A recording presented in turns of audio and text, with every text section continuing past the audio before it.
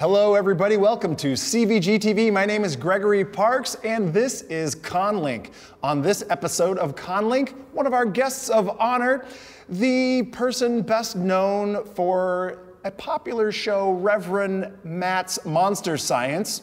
I bring you Matt Kessen. Thank you for joining us today. Thank you so much for having me. This is very exciting. Ah, it's so cool to have you here. Thank and you. I know you are not new to Convergence. Oh no no no! I've been doing it for quite a number of years. Um, I've had a uh, I've done my show Reverend Matt's Monster Science uh on the main stage for the last uh, number of years. I was not able to attend last year, but I did several years before that. Um, I usually do a show uh, that is tuned into whatever the uh, year's theme is, um, and it's it's just a lot of fun. And and of course I do a lot of panels and a lot of other stuff, and it's it's a, it's a terrific convention, and I've been doing it for a while, so it's it's exciting to be back, and especially in this in this uh, role. Excellent. And yeah, like you're this time, you're a guest of honor. The honor is all mine. Well, It's- you're going to have a liaison and everything. I know. I have no idea what I'm going to do with him, but I'll figure something out. Well, you, you're going to be in great company among guests of honor. oh yes, yes. here. Yeah, I saw the other ones. It's fantastic. It's very cool. Yeah. So, like, uh, so you being a guest of honor, so you can't answer yourself. Mm-hmm. Um, but who would you love to see as a guest of honor at Convergence? Like, so who would you like to join you and all the others in the pantheon of Convergence guests of honor? Well, I mean, um, wow, that's, I mean, there's so many possibilities, aren't there? Uh, I mean, the one that, that comes the most to mind, because I know she's doing the circuit a little bit right now, um, especially in the wake of her book, but I'd love to see uh, Elvira, Mistress of the Dark, Cassandra Peterson, Elvira, Mistress of the Dark, and especially in the wake of, uh, of her autobiography and the very exciting, you know, revelations that have come from that. And Yeah. so that would be, I mean, I've actually met her. I've, I've, I went to a convention in Wow. New Jersey about 12 years ago and met her and all that sort of thing, and she was extremely lovely. So it's not even, it's not even pure, I mean, I'd love to meet her again, but it's not even pure selfishness. I've already got a picture with her, but, uh, but, but I think she would be a fantastic, a fantastic guest. Uh, that's the first thing that comes to mind anyway. Oh yeah. God, that would be so good. Yeah, it would. That would be so good. and it's amazing. great. She's been at it for so long. She's been really consistent and just Yeah. Yeah, yeah, yeah. She's not- been yeah. running a marathon. Yeah, no, it's her 40th anniversary of doing this, and then uh, and and then for me, it's just a question of you know what I do is uh, is monster comedy. I do a comedy show about monsters, and uh, and in a lot of ways, she's the she's the progenitor of that. You know, I mean, she's she's an inspiration to me as far as mixing monster material and comedy material, and so yeah, so she's amazing. So that would be that would be my the first thing that comes to mind anyway. That'd be amazing. There's there's a lot of scholarship that goes into your shows, into every one of your shows. Yeah. What was the thing that first got you into cryptozoology and monsters? And then at what point did you decide, I'm going to start doing shows or lectures on monsters and mean- cryptozoology? Yeah, I mean, what got me into monsters was being a six-year-old, and I didn't, you know, and I just never let it go. Was the only thing. Um, yeah, I can't. I, I mean, I can. I can do, depending on time. Um, just real quick. Okay, how much time do we have? Can I tell a little story, or You can uh, tell a little story. I'll tell a little story.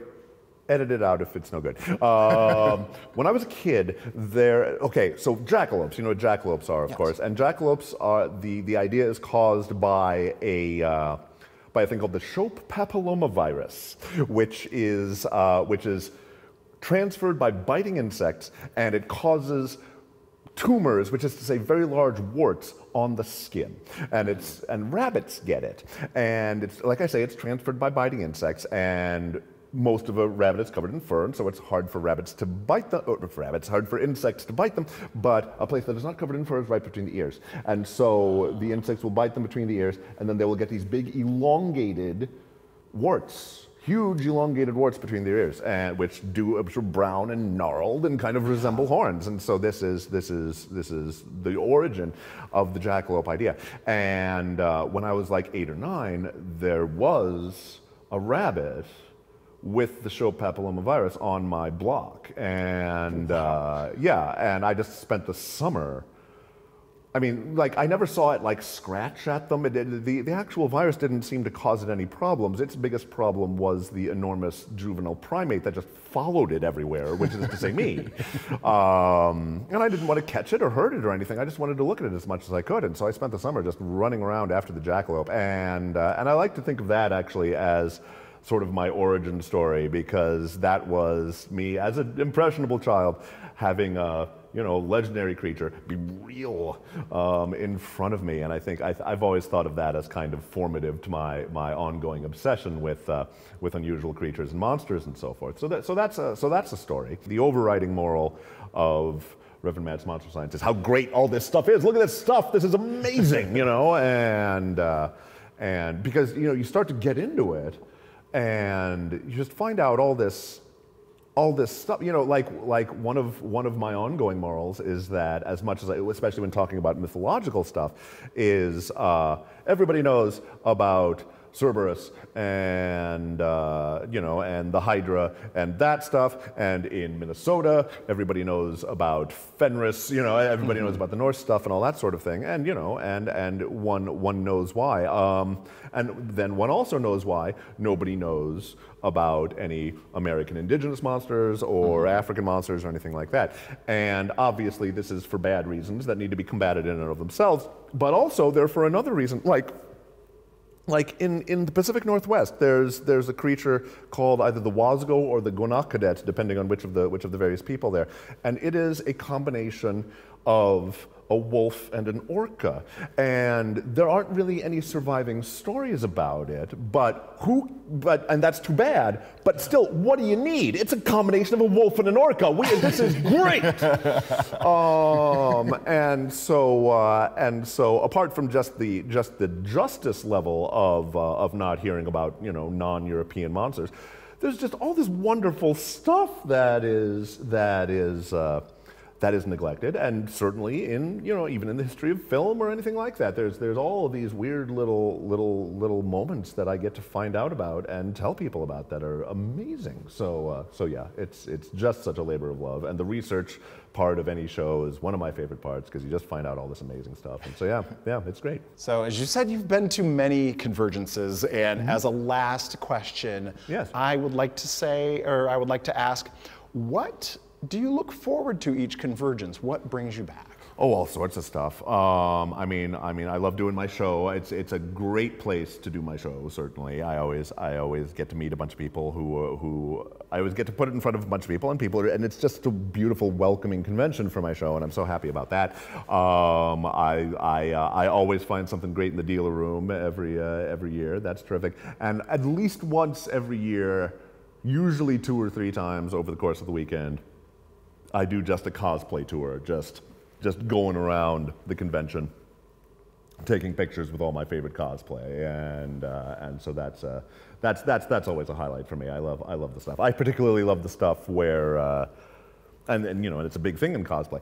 People do wonderful. All of, I have nothing bad to say about cosplay, but my own particular favorite stuff is uh, is the stuff where where they've kind of invented something out of various materials, you know. I mean, I, I like I, I think one of my favorites that I ever saw was, uh, and I've got a picture with it, was was a guy who was Daft Punk Imperial Scout Trooper. So it was the, so it was the whole it was the whole Daft Punk thing, and then a silver silver Return of the Jedi Scout Trooper uh, mask, and that was that was amazing. So that was one of my favorites. So yeah, and there's the guy who was I don't I don't know if he's been there a, a couple of years ago. There was the dude in like the eight foot tall cardboard robot suit that played music, and I just I just I love that stuff. So that's so that's great, and I just love I just love hanging out with everybody, and it's just this great pod. You know, I do the I do the I do the the party room crawl, you know, mm-hmm. on Friday and Saturday night, and I see other panels. You know, it's just such a it's such a, such a delightful, delightful gathering together and seeing what people have and enjoying people's enthusiasm. There's a reason why it's called Geek Prom. Yes, exactly. Yes, yes, quite so. Well, thank you for joining us here on the couch. It's been a pleasure to have you, a and we look to forward to seeing the wonders that you will bring to us at Convergence this year. Thanks so much. I'm honored to be here. Um, I hope to see you all there. Thanks very much. Beautiful. And thank you for joining us here at ConLink. I'm Gregory Parks. We will see you on the next episode.